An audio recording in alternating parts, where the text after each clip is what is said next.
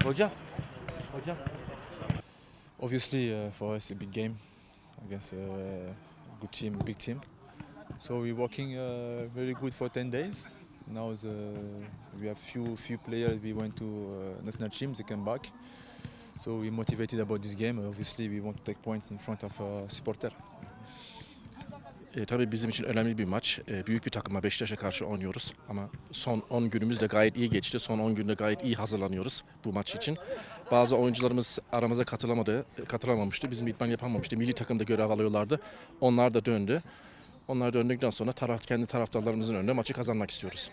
Yes, of course, because um, first of all, it's very important for now for the for the ranking, for the for the table, for the league, and uh, we know this kind of game is particular even for the supporter. So we need to, to stay focused to, to play our football. eh, I know they're gonna help us to, to grab the win Saturday, so we need to be ready for this.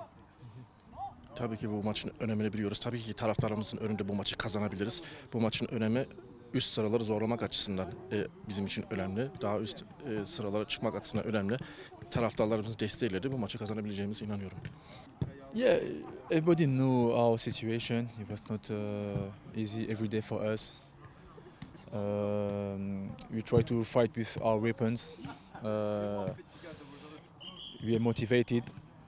We are we we playing to try to get the best result possible. So we, we keep we keep working. We keep doing uh, our, our job, and uh, we see gonna happen. But we are all motivated, and uh, we're gonna fight against uh, all odds. Sezona e, tabii ki tam iyi başlayamadık. Her şey istediğimiz gibi gitmedi. Fakat biz e, çok mücadeleci bir takımımız. Elimizdeki imkanları en iyi şekilde kullanıp başarıyı yakalamak için uğraşıyoruz. İyi bir ekibimiz var, iyi bir birlik- birliktelik var takımda. E, elimizdeki imkanların en iyisini e, sağlayıp e, tabii ki taraftarımız önünde Beşiktaş maçını kazanmak istiyoruz. Buradayız.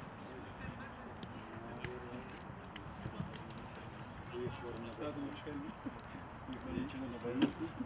Çağırayım mı Ercan abi? Orası da gidiyor ama.